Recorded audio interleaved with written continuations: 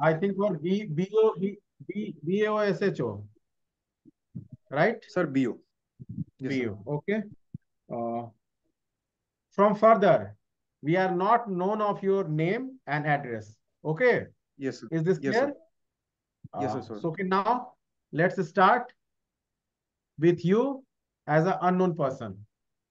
Yes, sir. Okay. Okay, tell us something about yourself without mentioning your name and roll number and address. Sir मैंने BSc agriculture Dehradun से किया है। Currently मैं MSc masters pursue कर रहा हूँ agronomy में फ्रॉम इलाहाबाद एग्रीकल्चर इंस्टीट्यूट और साथ ही मैं समेकित कृषि प्रणाली के अंतर्गत खेती भी कर रहा हूँ। आपने देहरादून से किया है। यस सर और वर्तमान में क्या कर रहे हैं? सर मैं मास्टर्स कर रहा हूँ एग्रोनॉमी से। और साथ ही मैं समेकित कृषि प्रणाली के अंतर्गत खेती भी कर रहा हूँ। अच्छा अच्छा।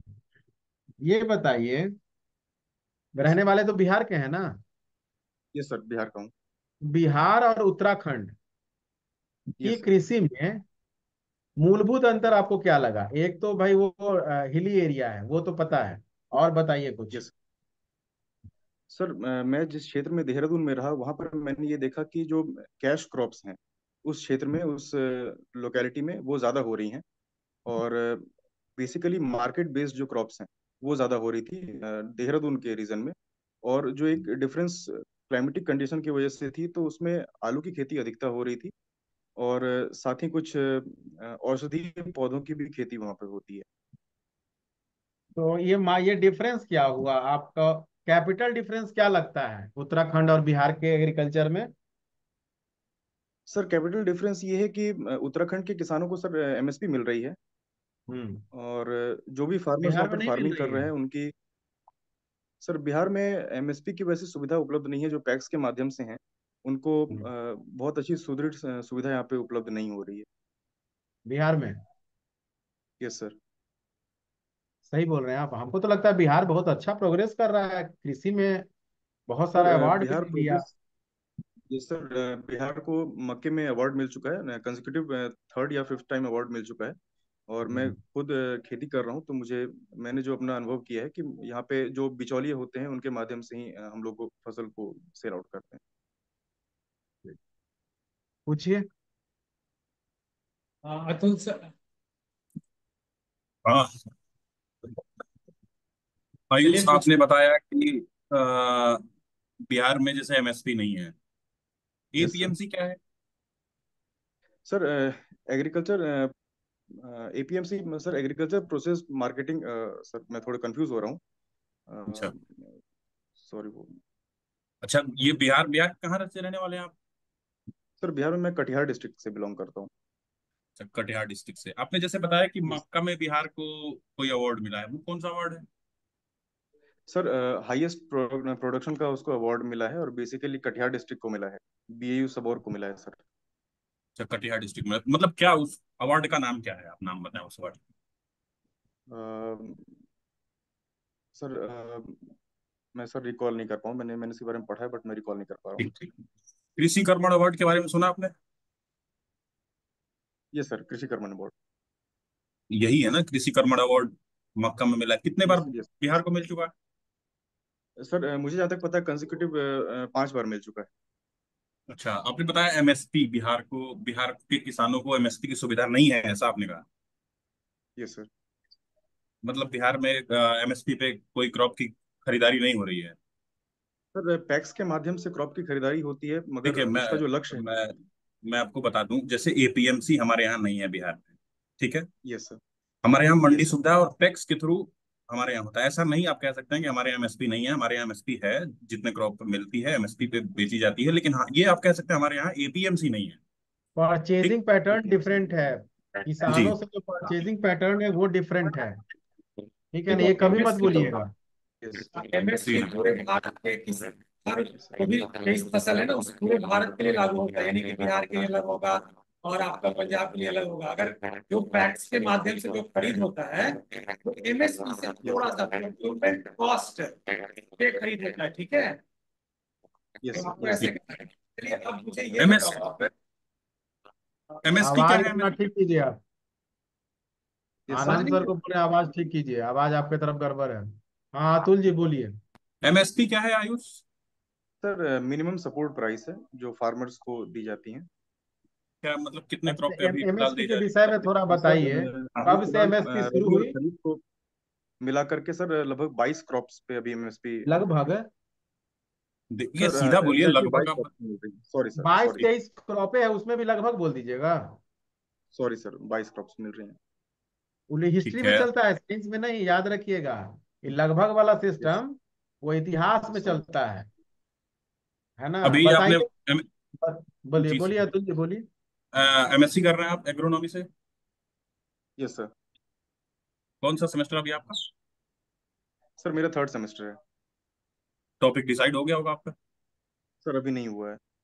अभी नहीं अच्छा आप पोटैटो के बारे में बताएँ कुछ इंपॉर्टेंट डिज़ीज़ बताइए जो पोटैटो में लगती है। सर पोटैटो में लेट ब्लाइट डिज़ीज़ होती है और वार्ड डिज़ीज़ पोटैटो की है। और साथ ही सर मेजरली अभी रिकॉल तक कर पा रहा हूँ। सर फंगल डिज़ीज़ उसमें आती हैं। अर्ली ब्लाइट लेट ब्लाइट और वार्ड डिज़ीज़ उसके अंदर होती है और स्कैब डिज़ीज़ होती है रॉटिंग की इसका साइंटिफिक नेम क्या होगा? साइंटिफिक नेम साइंटिफिक नेम में बता दे चलिए आप हमको। सर फाइटोप्थोरा इन्फेस्टेंस होती है। जी? फाइटोप्थोरा फाइटोप्थोरा इन्फेस्टेंस होती है। जी कौन सी की है तो ये? सर ब्लाइट की। कौन सी ब्लाइट लेट ब्लाइट या early blight sir sir late blight जी। Sir late blight okay early blight की क्या होती है? सर थोड़ा मैं अभी कंफ्यूज कर रहा हूँ। ठीक है आप इसको देख लीजिएगा थोड़ा सा आप एक मिनट कश्यप ये माइक को थोड़ा नज़दीक कीजिए आप अपना। बोलने वाला जो माइक है उसको नज़दीक कीजिए थोड़ा। Yes sir yes sir yes sir अच्छा पोटैटो स्कैब बताया उसको क्या है? सर स्ट्रिप्टोमाइसी स्कैपीज स्कैबीज ये उसकी साइंटिफिक नेम होती है। ओके और वो क्या वार्ड बताया आपने? Sir wart disease endobioticum species उसकी वॉर डिज़ीज़ की साइंटिफिक नेम। ये इसको आप देख लीजिएगा। ठीक है आप ये बताइए पल्स पल्सेस और लेग्यूम में क्या डिफरेंस है? सर पल्सेस मुख्य तौर पर दलहनी फ़सलें जिसको हम, उसमें जिसमें pod formation sir sorry sorry sir pulses में खास तौर पर वो नाइट्रोजन फिक्सेशन करती हैं। अच्छा और इसमें नहीं करती है? आ, क्या बोलते हैं लेग्यूम मैंने आपसे पूछा लेग्यूम और पल्सेस में डिफरेंस बताइए। जैसे लेग्यूम तो भी तो करती है ना नाइट्रोजन फिक्सेशन? यस मेजर वही करती. है। मेजर डिफरेंस क्या है? Major major difference sir pulses के जो पॉड्स होते हैं सर वो छोटे होते हैं। देखो जैसे पल्सेस होते हैं ना उस, उसकी जो ड्राई सीड जो हम यूज़ में लेते हैं ना उसको हम पल्स. बोलेंगे। और जिसका ग्रीन पार्ट यूज़ Yes, करते हैं ना हम वो लेग्यूम हो गया। यस सर ओके सर अच्छा आप ये बताइए आत्मा के बारे में पढ़ा आपने? यस सर आत्मा क्या है?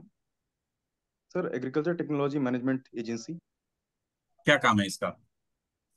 सर इसका काम बेसिकली एक्सटेंशन वर्क है जो टेक्निकल हैंड होल्डिंग फार्मर्स को प्रोवाइड की जाती हैं from central universities research institute और जो केवीकेज हैं इससे किसानों तक जो पहुंचाई जाती हैं जानकारियाँ उसको केबीके केबीके आपने केबीके ला दिया। केबीके और आत्मा में क्या डिफरेंस है?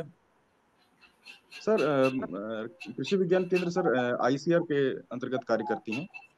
अच्छा। और क्या काम है इसका? केबीके का क्या काम है? मेजर वर्क क्या है केबीके का और आत्मा का? सर कृषि विज्ञान केंद्र का मेजर वर्क है जो जिस जिस भी क्षेत्र में हो उस क्षेत्र के किसानों की जो समस्या है उसको पॉइंट आउट करके उस पर रिसर्च करना। और वहाँ से टेक्निकल हैंड होल्डिंग और सपोर्ट किसानों को देना। और आत्मा का क्या? सर आत्मा के बारे में जहाँ तक मुझे जानकारी है स्टेट गवर्नमेंट के थ्रू वो वर्क करती हैं और जो भी टेक्निकल हैंड होल्डिंग है किसानों को वो वहाँ तक पहुंचाती हैं और एक्सटेंशन के सारे दोनों तो एक ही बोल रहे हैं आप केबीके में वही बोल रहे हैं आत्मा में भी वही बोल रहे हैं आप।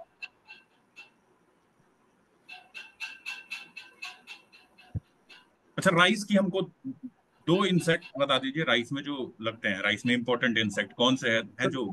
सर राइस में सबसे इम्पोर्टेंट तो शूट बोरर है। Shoot borer leaf leaf folder leaf borer shoot shoot borer sir क्या है कैसे फोल्डर क्या है इसका? नेचर ऑफ़ डैमेज क्या है?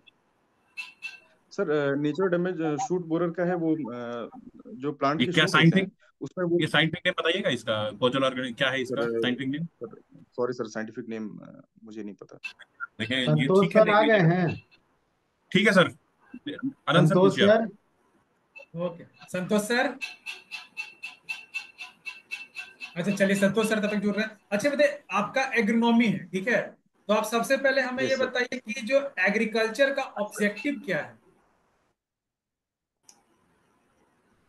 सर एग्रीकल्चर साइंस ऑब्जेक्टिव पूछ रहे हैं। एग्रीकल्चर का डेफिनेशन नहीं पूछ रहे सर, आपसे। सर ऑब्जेक्टिव एग्रीकल्चर का ऑब्जेक्टिव ये है कि हम अपने क्षेत्र में ज़्यादा से ज़्यादा प्रोडक्शन पर एग्रीकल्चर की प्रोडक्टिविटी को बढ़ा सकें और पर यूनिट मोर प्रोडक्शन हम कर सकें जिससे फुलफिल सारी नीड्स की जा सके और एक सस्टेनेबल डेवलपमेंट किसी नेशन का हो सके। ये तो एग्रोनॉमी का हुआ एक तरह से। मतलब एग्रीकल्चर का हुआ ना इंश्योर करना फ़ूड सिक्योरिटी सर और और क्या है? इम्प्रूव करना है आपका living standard small and marginal farmer का। और प्रोडक्शन को इंक्रीज Yes. करना और, और एम्प्लॉयमेंट को एम्प्लॉयमेंट जनरेशन भी होता है। ठीक है? और Yes, दूसरा आपका एमएससी एग्रीकल्चर आपका मतलब कि एमएससी चल रहा है। ठीक है? MSc agronomy okay? Yes sir तो मुझे ये बताइए कि जो एग्रोनॉमिक प्रैक्टिस होता है ठीक है? वो मेनली किन किन कंपोनेंट के ऊपर फोकस करता है एग्रोनॉमिक प्रैक्टिस कंपोनेंट के economic practices sir economic practices जो हमारी स्टार्ट होती हैं सबसे पहले जो सॉइल की टिलेज से स्टार्ट होकर उसके बेटर सीड सोइंग से लेकर अच्छी वीड मैनेजमेंट प्रैक्टिसेस इरिगेशन और pest and disease control method से लेकर चाहे वो कल्चरल हो बायोलॉजिकल हो मैकेनिकल हो फ़िज़िकल हो के साथ ही हार्वेस्टिंग से लेकर पोस्ट हार्वेस्टिंग मैनेजमेंट तक। की जो पूरी होती है अब लास्ट लास्ट का दो तीन क्वेश्चन पूछ लेते हैं। सीड डोरमेंसी क्या है? सर सी डोरमेंसी एक ऐसी अवस्था है जिसमें सारे इन जो जो भी फैक्टर्स हैं जो उनको एक सीड को जर्मिनेट करने के लिए चाहिए उनके मौजूदगी के बावजूद सीड हमारी जर्मिनेट नहीं कर पाती है। चलिए ठीक है उसका टाइप बताइए। सर सीड डोरमेंसी में बेसिकली तीन तरह की मेजरली दो तरह की होती हैं। एक होती है डोरमेंसी फ़िज़िकल डोरमेंसी एक होती है इन्फोर्स डोरमेंसी दूसरी होती है सर सीड कोट की हार्डनिंग की वजह से तीसरी अरे वो टाइप बता रहे हैं आप उसका क्लासिफिकेशन बता रहे हैं। तीन ही हुआ मेन इतना बात नहीं घुमाइए इनेट इंड्यूस्ड Yes. ठीक है ना? इधर उधर मत घुमाइए वहाँ सब पढ़ा हुआ रहेगा ना। चलिए नेक्स्ट बताइए सॉइल फर्टिलिटी और soil productivity sir soil fertility का मतलब है कि सॉइल फर्टिलिटी का सर मैं, मैं डिफिनेशन अगर बता सकूँ तो सॉइल फर्टिलिटी का मतलब है जो भी उसमें मेजरली न्यूट्रिएंट पाए जाते हैं सॉइल में जो कि एक प्लांट को बेटर ग्रोथ के लिए ज़रूरी होती हैं उसे हम सॉइल फर्टिलिटी कहते हैं। ठीक है। अच्छा, मेरा दो क्वेश्चन है। प्रोडक्टिविटी क्या है?